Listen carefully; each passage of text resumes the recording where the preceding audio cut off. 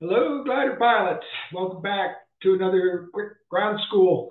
Uh, this time we're going to talk about uh, port side and starboard and what, what which wing is the port wing and which one is the starboard wing. And uh, it can be a little bit confusing. Um, and then also gonna, they throw in reds and greens on different and the colors, and you got to remember what it is. So, anyway, I found this might take a little bit of the confusion out. Uh, so let's take a look here.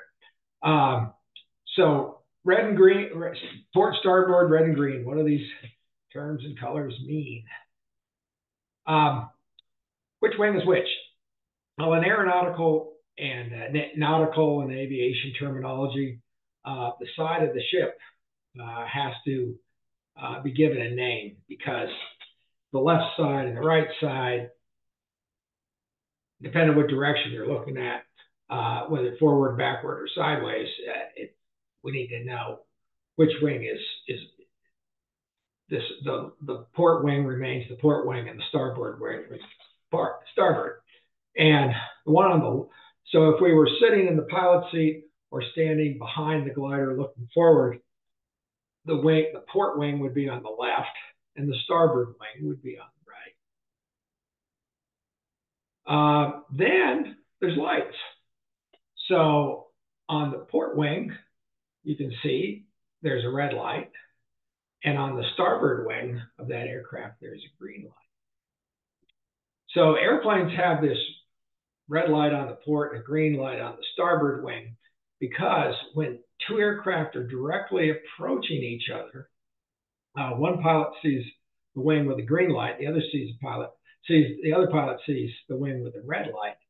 The pilot who sees the red light, um, pretty conventional red, that means he needs to turn right. He or she needs to turn right and yield to the oncoming aircraft because uh, that red light's on the port wing of the opposing aircraft. And the pilot who sees the green light on the starboard wing has a right of way uh, and continues on course. Oh, that's pretty easy to remember. So if you take a look at our glider, you see that the covers have red and green flags on each side. Hmm. So that helps us know which cover goes on which wing. So the cover with the green wing, the green flag goes on the starboard wing. The cover with the red flag goes on the port wing.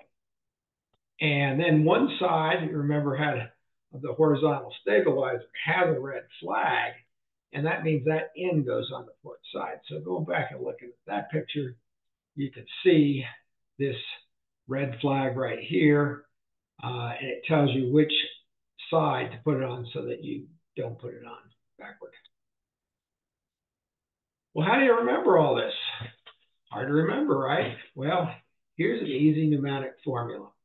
So port and left have the same number of letters.